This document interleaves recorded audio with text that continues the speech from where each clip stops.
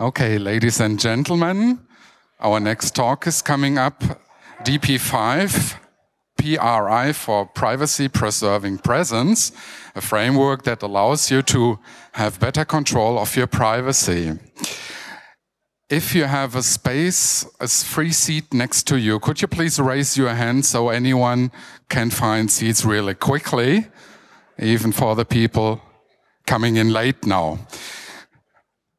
Now there will be a notice about the translation.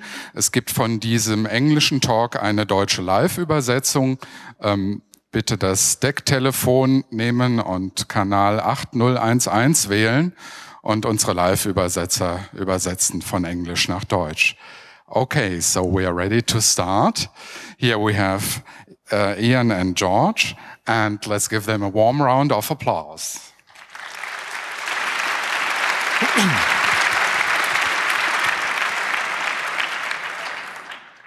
okay, is this on?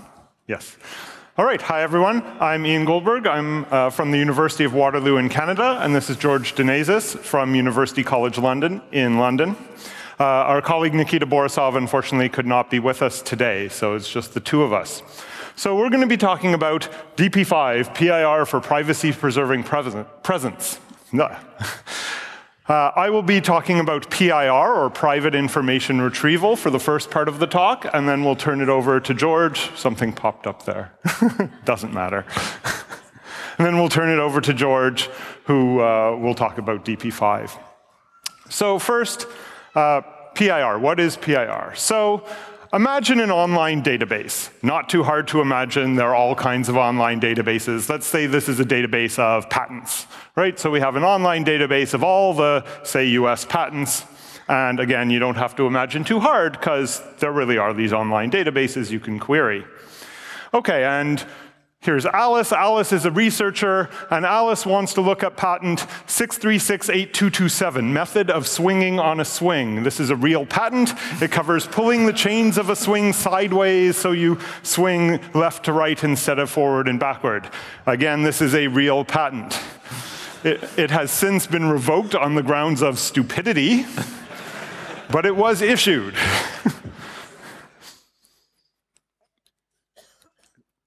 So Alice wants to look up this patent, but Alice does not want to let the database server know that swings are a hot new research topic.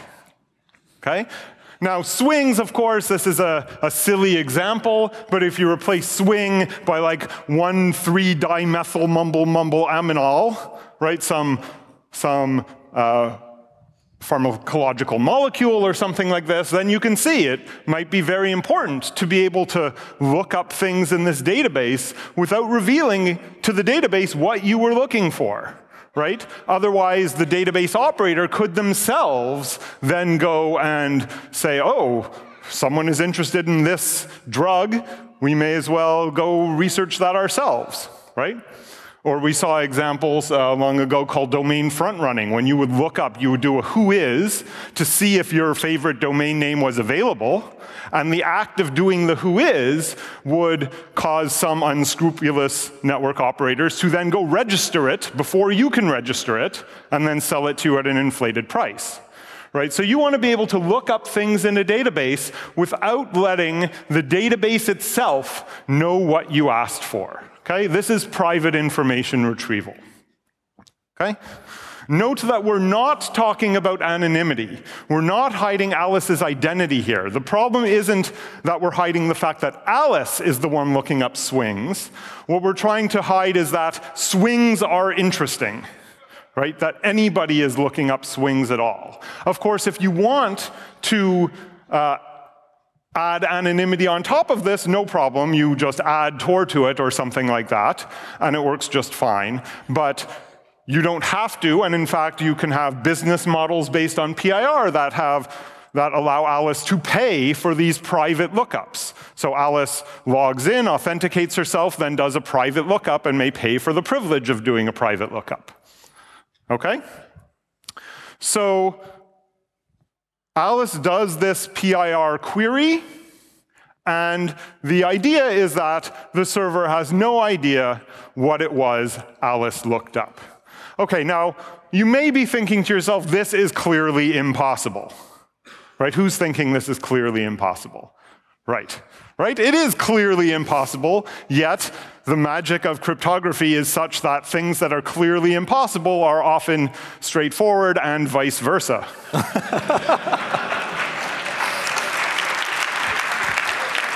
So here's a simple example called the trivial PIR protocol to show you that it's not impossible. Alice connects to the server, says, I would like a patent, please. And the server says, OK, here's all the patents. Look it up yourself. OK? Clearly, this is completely private. The server has learned no information about what patent Alice was looking for. But at the same time, this is a ridiculous protocol. Why? It sends way too much data.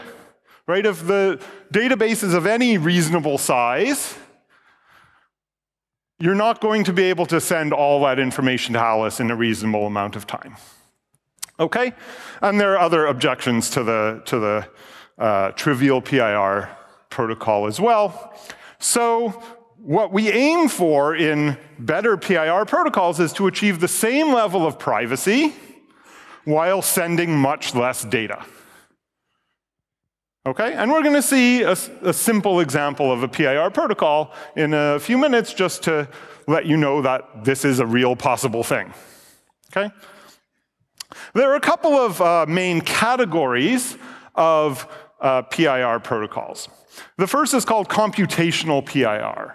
And this is where uh, the security of the PIR system relies on the fact that the server, who is your adversary, the server is trying to learn what you're asking for, and you're trying to not let it.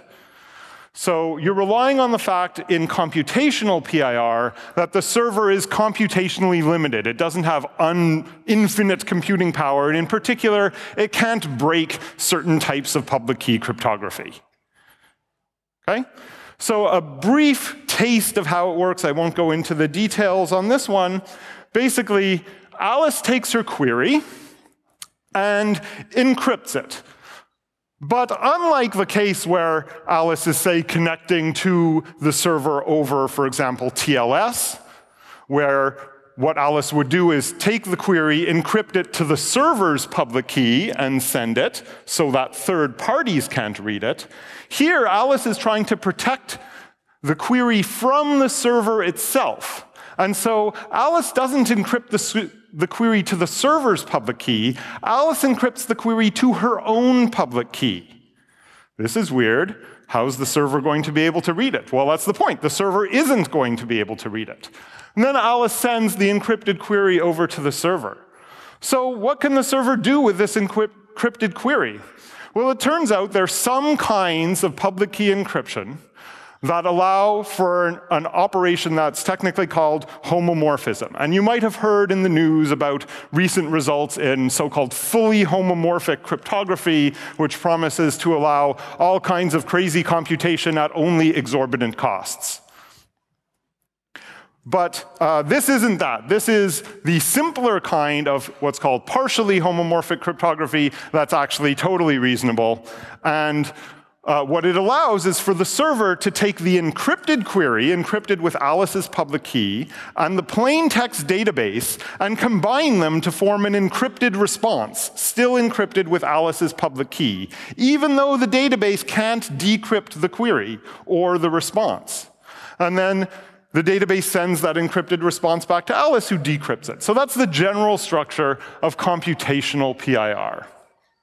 Now, these homomorphic operations are somewhat expensive, and so uh, it kind of sometimes costs a lot to do these kind of computational PIR queries. So there's another kind of PIR called information theoretic PIR, or ITPIR. And here, uh, what you have is that uh, the servers are no longer computationally limited. Now the servers are allowed to have unlimited computational power. A quantum computer, a magic computer, whatever. They can compute anything they want in no time. And Alice's query is still protected, even against unlimited computational power. How can that possibly be? Well, we use a different security assumption, not one based on cryptography, but one based on information theory, hence the name information theoretic, PIR. And here the idea is you have to have multiple servers, and Alice asks a question of each of the servers and gets back the responses and then combines those responses in order to uh, get her her answer. Now, the security property we have is a non collusion assumption. So we have to assume that some, at least some threshold of these various servers are honest and not colluding with each other to try to break Alice's privacy. And this kind of non collusion assumption is common in uh, privacy enhancing technologies. Things like Tor, of course, use it. If all the servers in your, in your path are colluding against you, you're kind of scrod. How did that come up on the? uh, yeah, if all the servers are colluding against you, that's bad. And uh, some kinds of electronic voting have this kind of non collusion assumption. So this is a pretty typical assumption. So and then there are ways that uh, combine these two, combine a, a, little bit of computational protection with a little bit of information theoretic protection, if you want a bit of each. Okay? So that's informa information theoretic PIR, and the advantage of IT PIR is it's much faster, like 70 to 100 times faster than computational PIR. Right? So that's uh, a bit of an advantage there. Okay, but on the downside, you need these uh, multiple servers. So that's the trade off you're making. Okay, so let's look at a simple example of an information theoretic PIR, just so you can have a little taste. And I'm going to do a little bit of math. Who's scared? Who likes math? Yay, math! Woo! Okay, it's going to be pretty easy math. Like in some countries, high school math, in other countries, maybe first year college math. Okay? So depend, yeah, depends where you are. It's around then. So it's, it's vectors and matrices. Who's happy with vectors and matrices? Woo, okay. So vectors and matrices. So this will be, if you're happy with that, it'll be easy. If not, just hum along and, and pretend you know the words. So uh, we're going to say our database, we're going to represent it as a matrix. Okay? A matrix is just a rectangular block of, in this case, bits, zeros and ones where each row is one record of the database. So the first row is record one, the next row is record two, the next row is record three, and so on. And let's say there are R rows in this database, and each record is S bits long. So this is an R by S matrix. Okay? And what the querier wants to do is retrieve one of the records, right? Say the third one, this one here. So it wants to retrieve one of the rows of the database. Okay?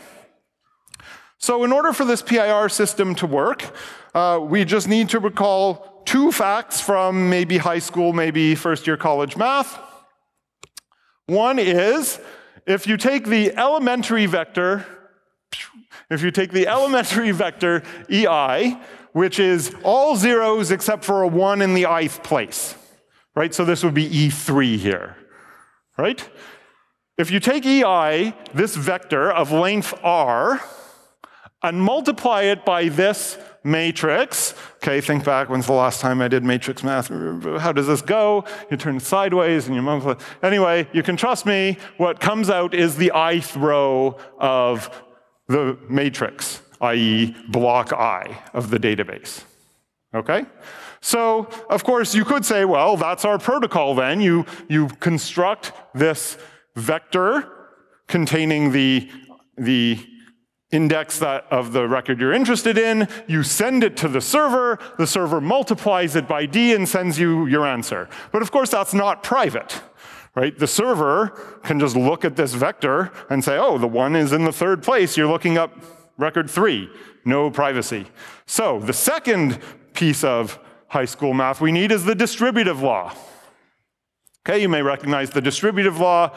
As working on numbers, but it also works on, on vectors and matrices too. It works just fine. So what's the distributive law? V1 times D plus V2 times D plus da da da plus VL times D is the sum of the VJs times D. So how are now we going to make a PIR protocol? You may be able to see it just from these lines. So here's how it's going to work. Alice, let's say Alice wants row three of the database. Alice constructs EI, doesn't send it to anybody. Alice then picks, let's say there are L servers. Alice picks L completely random vectors, 0, 1 vectors, under the condition that they add up to EI mod 2. Okay, it's all binary, so we're going to do mod 2. Okay, so how does she do that? The easiest way is just pick L minus 1 completely random vectors and then figure out what the last one has to be so they all add up right? So EI minus the sum of the ones you have already, right? And now you have L completely random vectors, and you send V1 to server 1, V2 to server 2, V3 to server 3, and so on. And each server is getting just a random bit string, and that, if you work it out, contains very formally absolutely no information about I, this number 3 here. Okay, so each server gets absolutely no information. In fact, any coalition of as many servers as you want, as long as it's not all of them, has no information about I. And then what is the protocol? Each server just multiplies the V it gets by the database, gets the answer, sends the answer back to Alice, like this one. Alice just adds up the answers. By the distributive law, that's the sum of the VJs times D, but the sum of the VJs we chose to be EI, which is this, and EI times D is block I. Poof.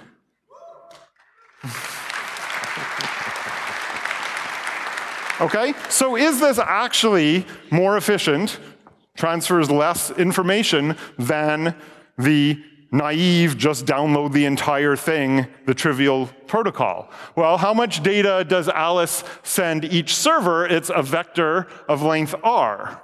So Alice sends r bits to each server, and how much does she get back? Well, this times this is a, is a vector of length s. So Alice gets s bits back. Okay? So R plus S bits are transferred between Alice and each server. And how many bits are there in the database? It's R times S bits, which is much, much bigger for any reasonable values of R and S. Right? And in fact, we get the best uh, protocol if R and S are about equal, if this database is squarish. Then you're sending about the square root of the size of the database to each server and receiving the square root back. Okay? So 2 times the square root of n, if n is the number of bits of the database, times L, the number of servers, as opposed to n, the size of the whole database. And the square root of n is much smaller than n if n is of reasonable size. Okay, so this was one of the very first PIR protocols proposed by Chor and others in 1995, almost 20 years ago now. Um, but it has some shortcomings, that many of which have been addressed over the subsequent 20 years. So let's look at a couple of them. One of them is that, click, the uh, the shape of this database is rather simplistic, right? This database consists of some number of equally sized records right? Not all databases have equally sized records, so other work has shown how to extend this very same protocol or related protocols to handle variable size records. And you might think that's a little tricky because the answer Alice gets has to not reveal the size of the record Alice was looking for. So it's a little tricky to do this uh, securely. But that's been done in previous work. Other previous work um, has looked at the uh, query, right? The query in this protocol is I want record three.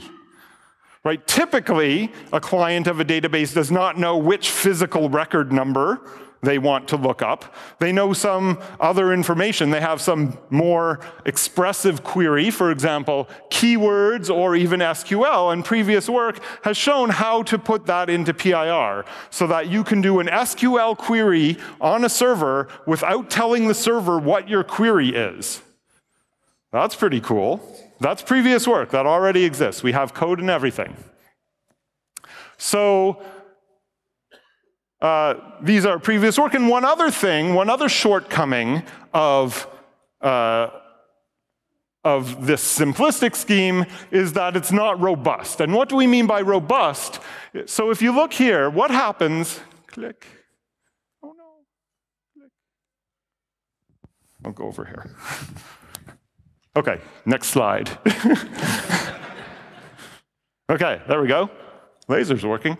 Okay, so uh, what do we mean by robust? Well, imagine one of the servers is down and doesn't give you a response. Or worse, one of the servers is malicious and gives you the wrong answer.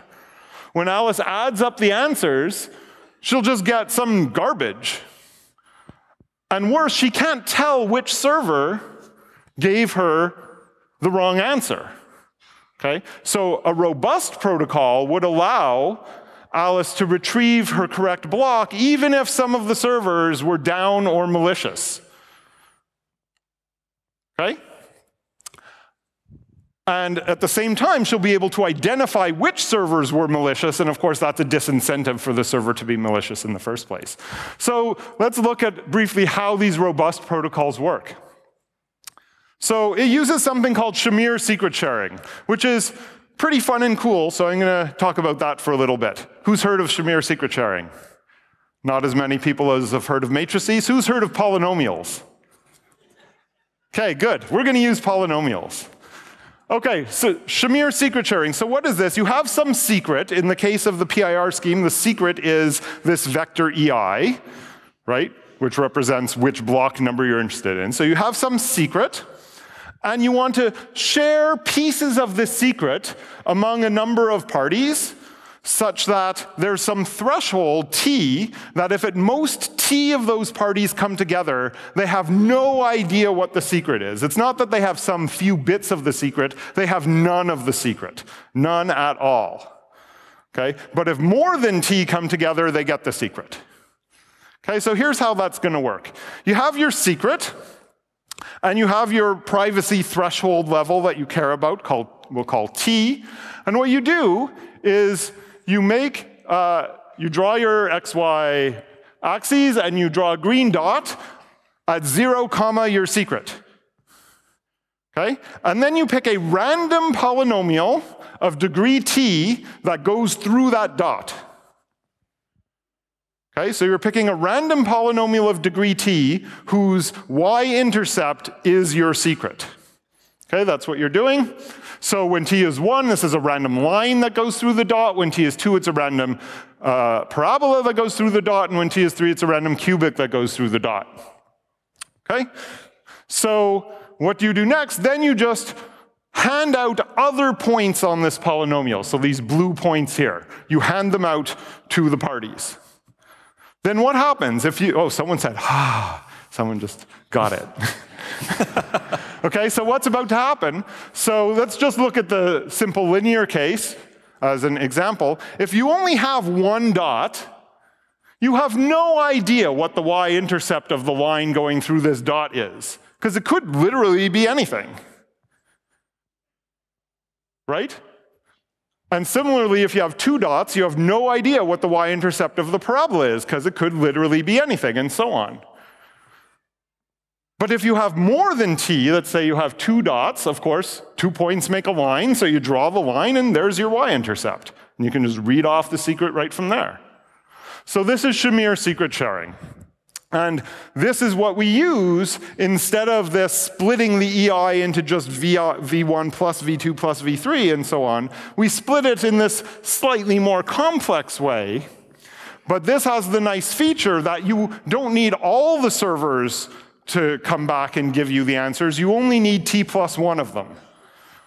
And then what if some of the servers give you wrong answers? Well, that's where we use something called error correcting codes. So with error correcting codes, we can tell, for example, um, which, when we have some, click, some wrong points, which points are wrong. So here's a little quiz.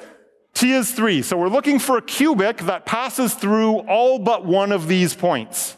So there are six points up there. One of them is wrong. Which one is wrong? Who says the one at this end is wrong? Who says the second one? Third one? Fourth one? Fifth one? Sixth one? Okay. The answer is, in fact, the first one. That's the cubic. and this kind of error correction is actually used quite commonly. It's used in CDs and DVDs. It's used in QR codes, right? You're probably familiar with this. Quick, what does this QR code resolve to? No. but the reason that it's used in QR codes is so you can do this and just blot some stuff obscuring part of the QR code, and this code will still scan to the same thing the other code scanned to, which is in fact the homepage. Okay, so these error correction codes are uh, used all over in, in ordinary life because you want to make sure usually that scratches on your DVD or tears in your QR code don't mess things up. And they are also used in PIR to handle malicious servers. Okay, so all this is implemented in our uh, Percy++ open source library. That's a pun on PIR and C++, pure C++. No? Okay, fine. um, for those of you who like Git, there's a Git. For those of you who don't like Git, there's a SourceForge. For those of you who don't like SourceForge, find someone who you know who likes Git. okay, so now I'm going to turn it over to George, who's going to talk about using PIR uh, to make uh, privacy preserving protocols. Thank you. Thank you. Good afternoon, everybody. I hope this works. So, the cool thing about crypto is that it's about math, and math is cool. But what is even better is that we can use crypto in order to protect our privacy against adversaries that we would never have imagined without crypto to be able to protect ourselves against. Uh, so, the example that uh, I will use to illustrate why PIR can be used for that it relates to uh, achieving privacy in kind of social interactions online. So, you may have noticed that in the last 15 years, we started using computers to talk to each other, okay? And you have things like Twitter, you have things like Facebook. No reaction, okay? Uh, and you have different chat protocols. Ooh, this thing works sometimes and not other times, huh? All right, tricky. Okay, so all of these have something in common.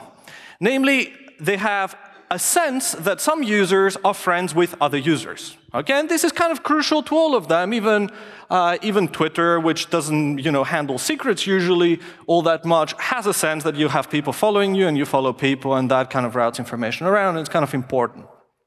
Okay, now, one further thing that is important, particularly when it comes to chat, and we're particularly keen of chat because we would like to eventually protect the privacy of people chatting, is presence.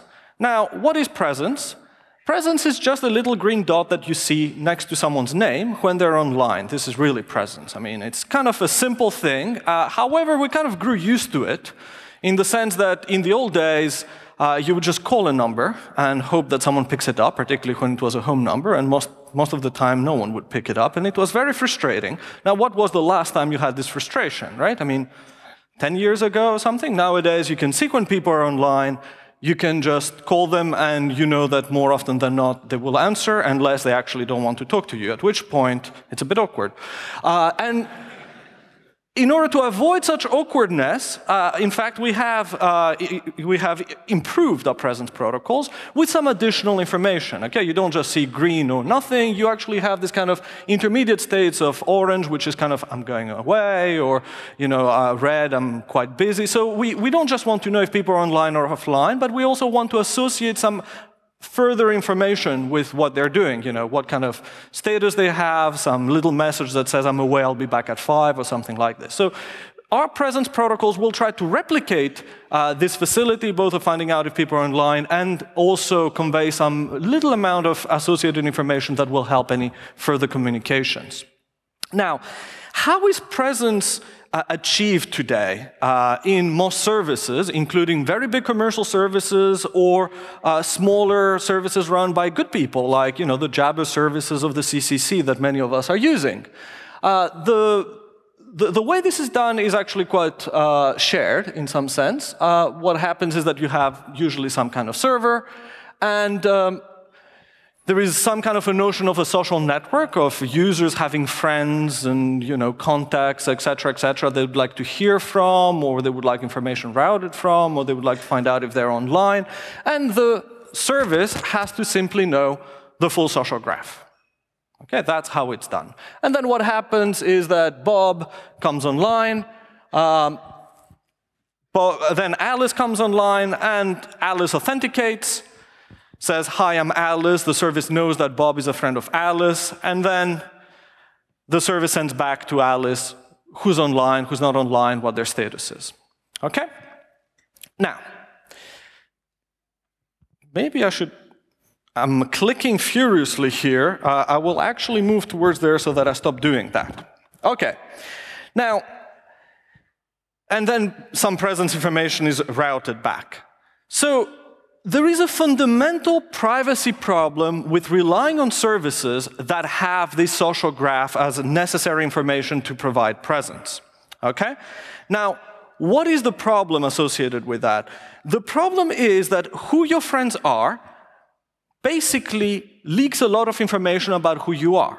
Okay? If all my friends are hackers, the probabilities are that I'm a hacker. If all my friends are journalists, the probabilities are that I'm a journalist. If all my friends are from Sudan, I have some association from Sudan. So suddenly who you know actually has, gives away a lot of information about you okay? In particular, who you contact or who you know you, you include as a friend, as a new friend, etc. If suddenly I start including a lot of doctors or a lot of uh, lawyers in my circle of friends, well, that actually leaks information about me.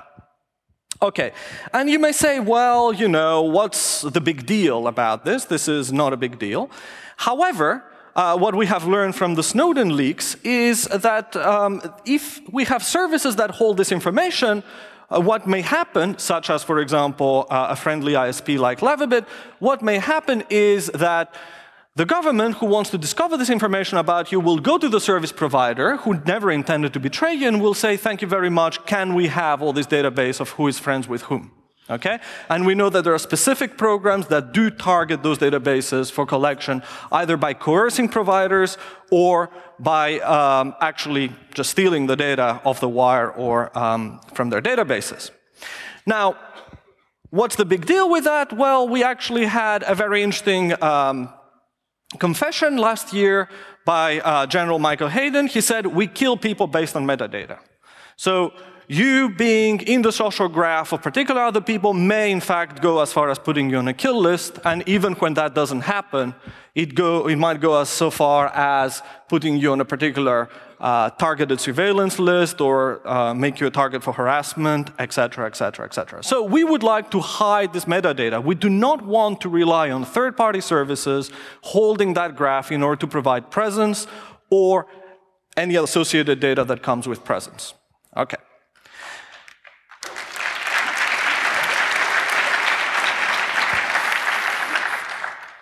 Now, what do we expect from a privacy-friendly presence system?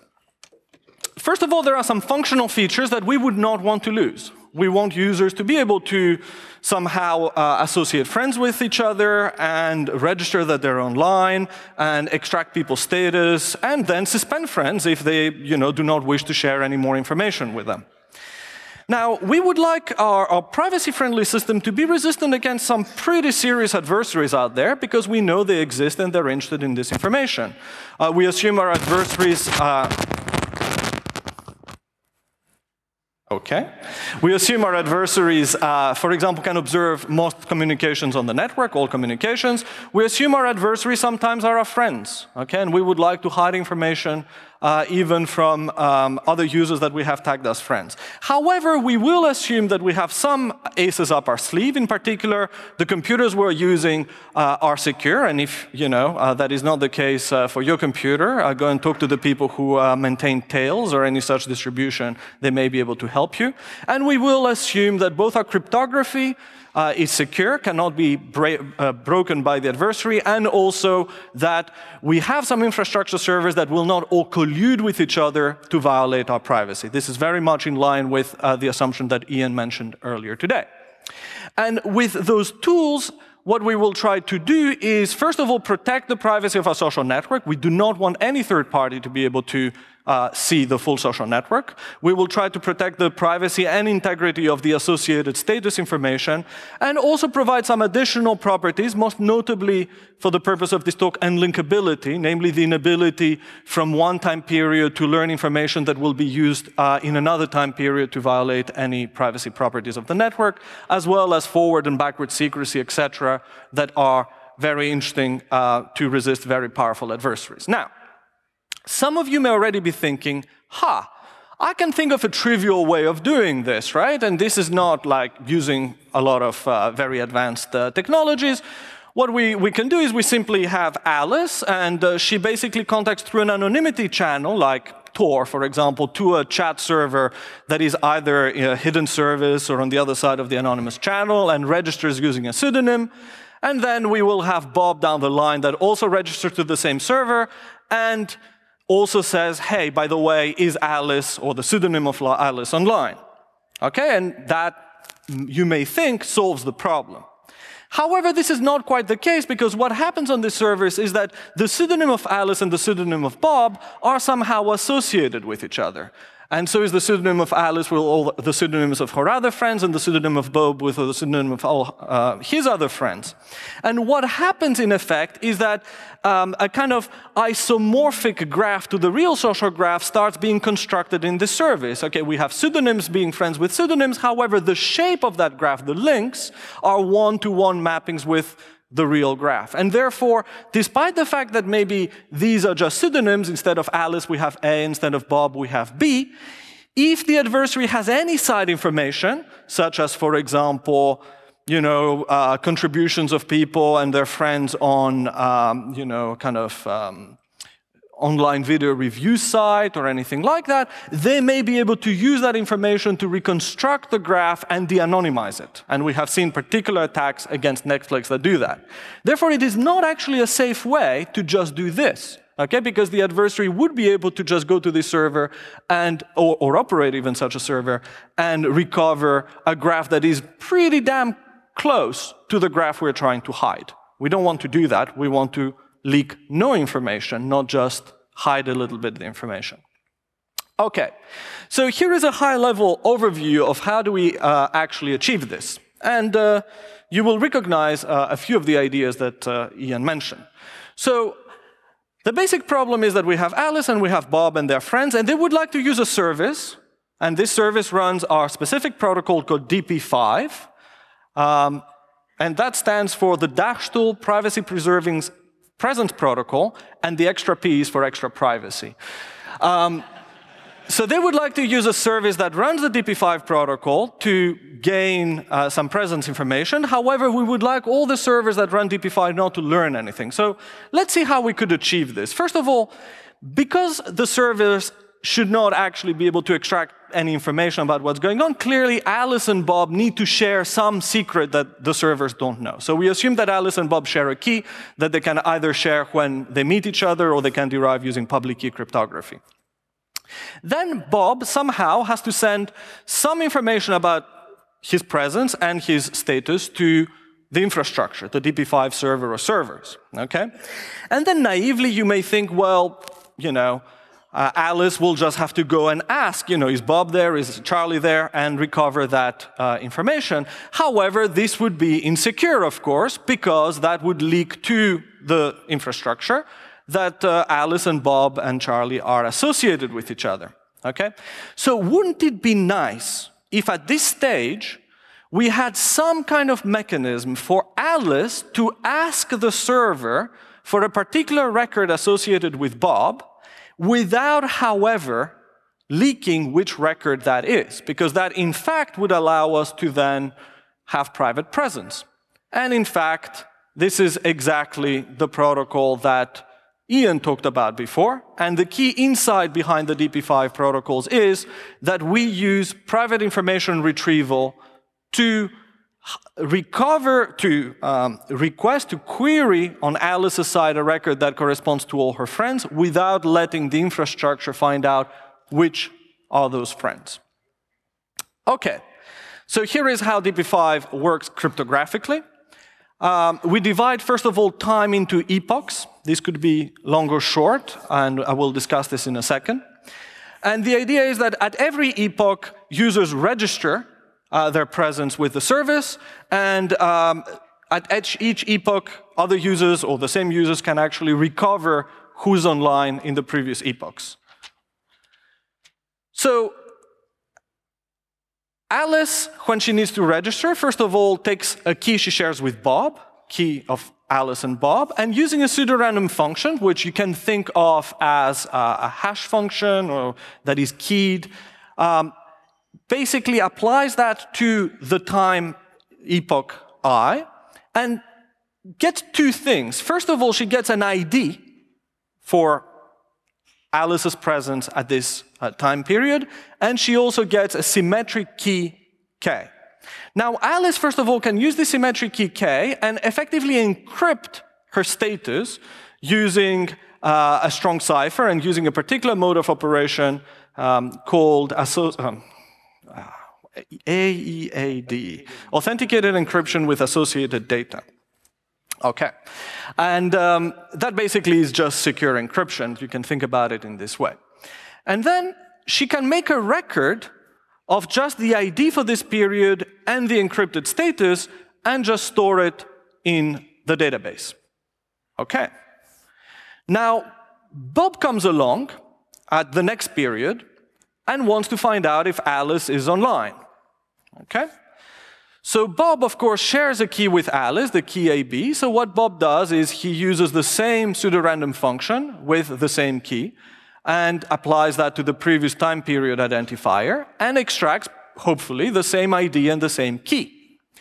Then using the ID and a private information retrieval protocol, Bob can try to retrieve the record that Alice has left in the database. Okay, and hopefully he gets back the record C, and then tries to decrypt that record with the key. And if the decryption is successful, it means that Alice is online in the previous epoch, and furthermore, he can decrypt the status. Okay. Now, I hope that everybody is half convinced that this is secure. This would just work, and this would defeat, subject to all our assumptions, very powerful adversaries from finding out who's friends with whom, and who's online, and who's, um, who's actually querying who uh, else is online at any point. Now, however, there is a problem with all this, which is associated with the fact that this database tends to get very large. As I said, for every relationship in the world, we will have to include a record in the database. And furthermore, we would like to include some more records in order to hide how many friends each person has, so that each person always basically submits 100 relationships and uh, queries for 100 relationships as well. So these databases tend to get quite big.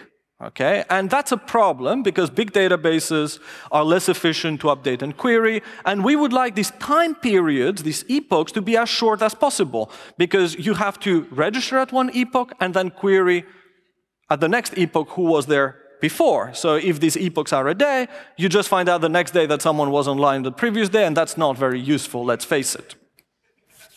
So we, we need to basically do something to improve efficiency so that these queries and these registrations are very fast. And as my academic grand-grandfather said, that's David Wheeler, any problem in computer science can be solved with another layer of indirection. He, by the way, He's worth a, a, a, round of applause because he invented the subroutine along with many other cool things, which is indeed a layer of redirection.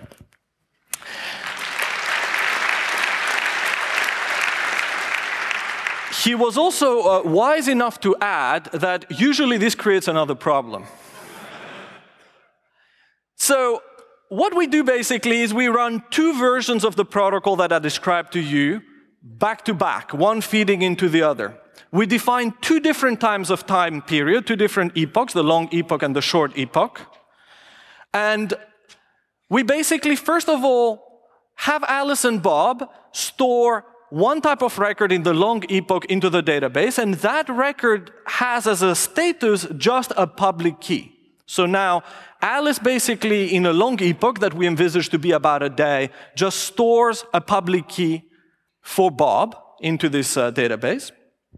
And then in the short epoch, Bob can both retrieve the public key associated with Alice in the long period, and then use that key to query for Alice in the short epoch. Now, the trick here is that this public key is shared by all friends of Alice. Okay, so we now go from a situation where we have one record per relationship, which is still the case in the long-term database, to just having one record per active users, which makes for a much shorter database. And now that becomes tractable enough for this period to be as short as a minute or even a few seconds, depending on how many machines uh, you throw at the problem.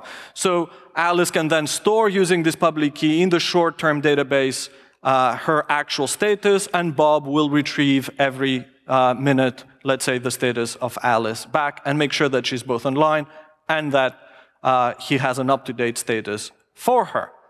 By the way, this status is very important to us because we don't just think of it as being busy, not there, or you know, away for five minutes, but we actually think of this protocol as being able to support other cryptographic and anonymity protocols. So you can think of this status information as being, by the way, this is my anonymous pseudonym for you to contact me on this service. Or by the way, this is actually the address of a Tor um, hidden service on which you can talk to me right? So we were extremely keen to have this associated information so that we can build more secure chat protocols on top of this presence protocol uh, and on the back of its properties. Now, um, cypherpunks write code, I believe. Is that how it goes? That's how it used to go, and I hope that this is how it's going to go from now on as well. So all of this has been implemented. Uh, we use the Percy++ Plus code uh, as the core for our PIR protocol, and the rest of the DP5 protocol at a low level is implemented in C++, and we have Python bindings that we use as part of a CherryPy framework, uh, and uh, Twisted uh, core to um, implement all of the networking so that uh, we, we can time it and make sure that it all works.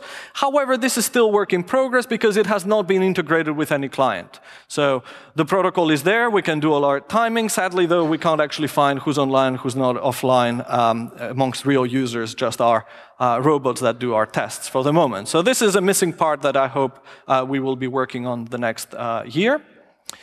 And the cost of running this is surprisingly low for the kind of very strong properties it offers. Um, sadly, the cost per user rises the more users you have, because that's how PIR uh, is. Okay. Now, if you have a service with, let's say, uh, 10,000 users, it will cost you a fraction of a, of a penny per user to actually uh, run this uh, protocol uh, for a month. If, however, you start having millions and millions of users, it will cost you in the order of magnitude of a dollar or more per user to actually serve uh, users given uh, rational loads.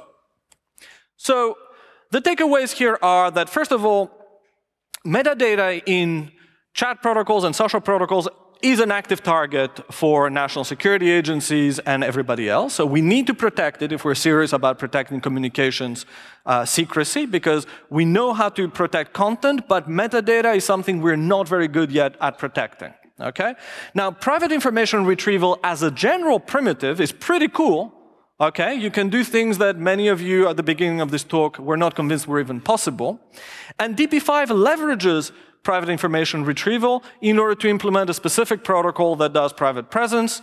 And given um, the characteristics of this protocol, it is actually quite practical. And I hope that many services will start considering using this kind of technology uh, pretty soon. Thank you very much. We're open for questions.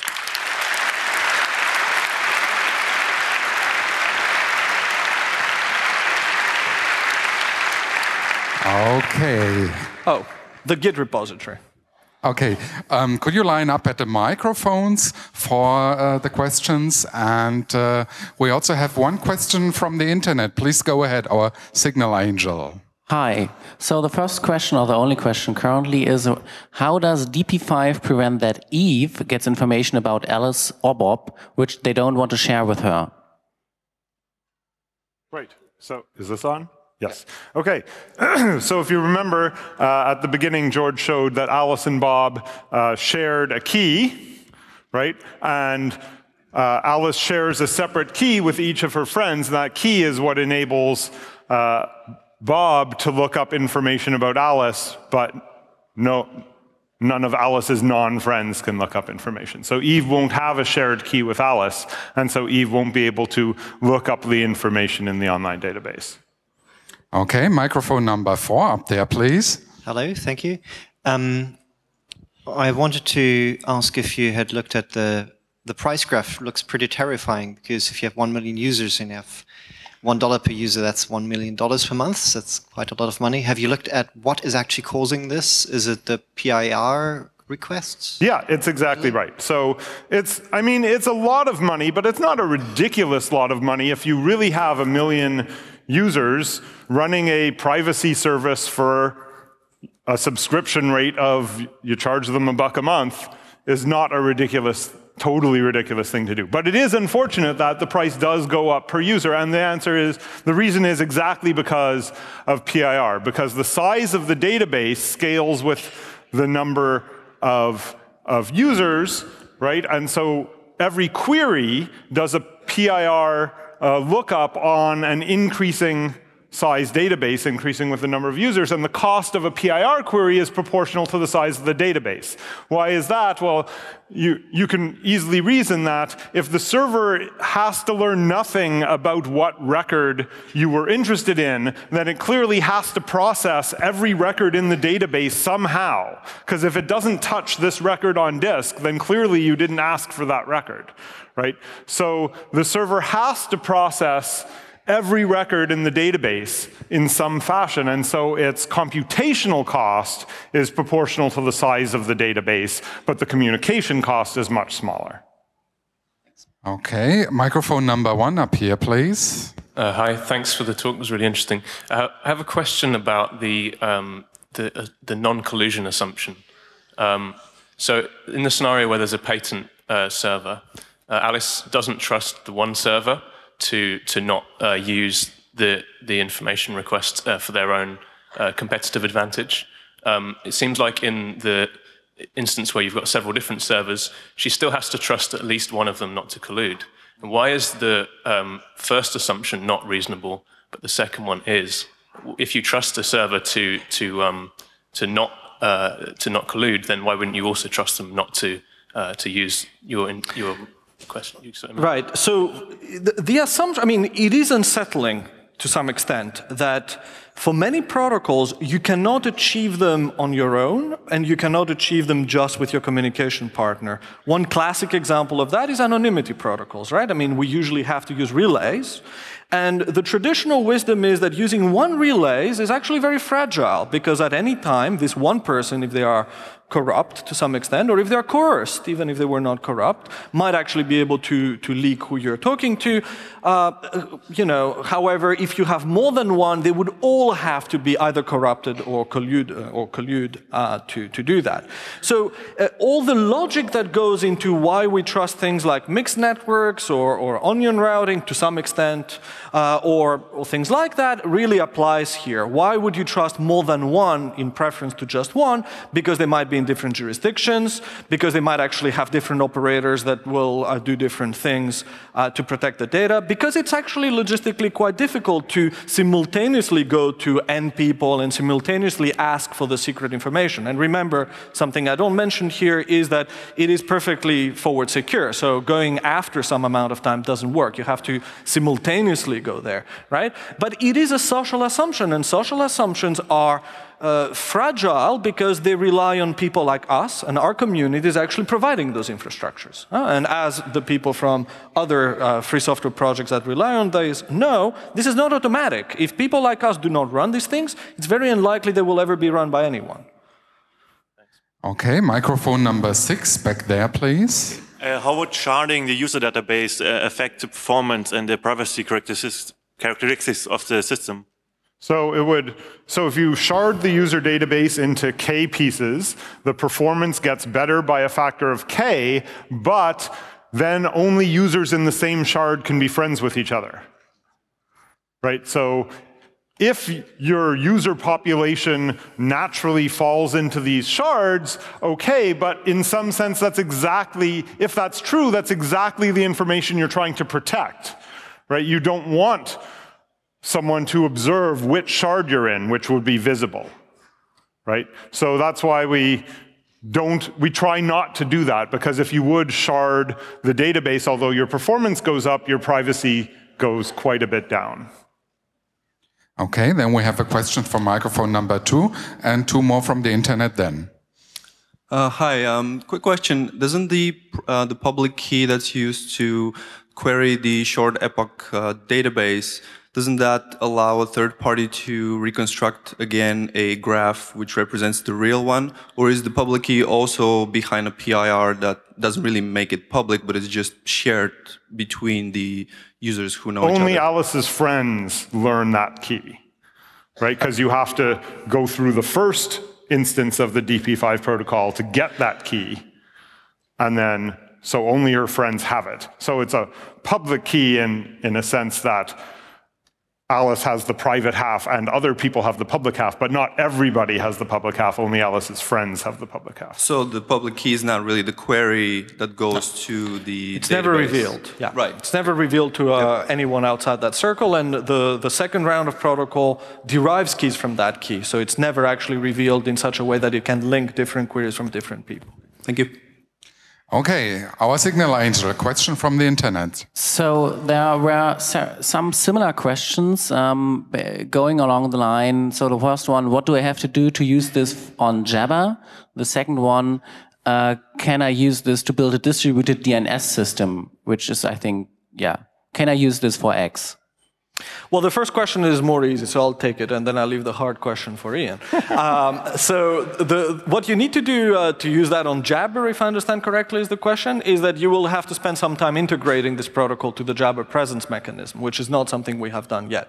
Uh, we have actually spent quite some time thinking how this could, could be done, and uh, we, we foresee a, a, solution based on implementing a kind of Jabber protocol proxy or something like that working, where your client talks to uh, some local proxy, and the local proxy actually translates all the presence-related events into DP5, and then translates the responses back into Jabber events so that you know, we can reuse a lot of the code. However, this work is still to be done. This integration work is actually one of the trickiest parts of computer security to make sure that it's actually usable, and we haven't actually done that yet. The question, uh, the second question is how uh, can we use that to do DNS? So it's not a very good match for DNS because in DNS, the whole point is that you want everybody to know uh, the DNS information, right? So it's probably a better fit, for example, for a short messaging service, right? You want Alice wants to tell Bob in particular some small amount of information, which would be the auxiliary data in here. So you can imagine DP5 or a very similar protocol being used for some kind of short messaging service where uh, Alice is sending a particular message to one or a small subset of people, her friends in this example, but DNS, you want to send it to everybody, and so I don't think that's a good fit for this protocol. Okay, two minutes left, two questions. Microphone number one, please. Uh, in the protocol, um, Alice stores her encrypted information with an ID, say X. And then later on, Bob queries the database for that same ID X. So, what prevents the server from knowing the relationship between Alice and Bob? Ah, because the lookup is done using private information retrieval. So, Bob looks up with ID X, but in a way that doesn't reveal to the server what X is. All right. Right? Okay, so you're using the, the distributed model. That's there. right. right. That's the magic. Okay. Okay, microphone number one again. What happens if uh, the databases are not synchronized? For example, if they run out of sync for one time epoch and have some different information about the same user. Right, so that would be bad. Um, but it's not so bad because, as I said in the first half, right at the end of the first half, these PIR protocols support robustness. So if some of the servers are out of sync, as long as not too many are out of sync, no problem, because the robustness properties of the PIR protocol will just think, oh, that server's giving me the wrong data.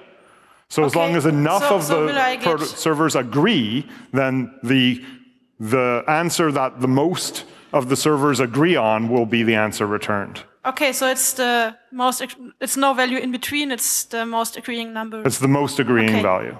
Thank you.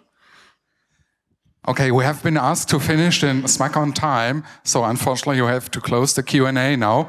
Uh, again, thank you very much for coming here. Thank you very much. Thank you. And, uh,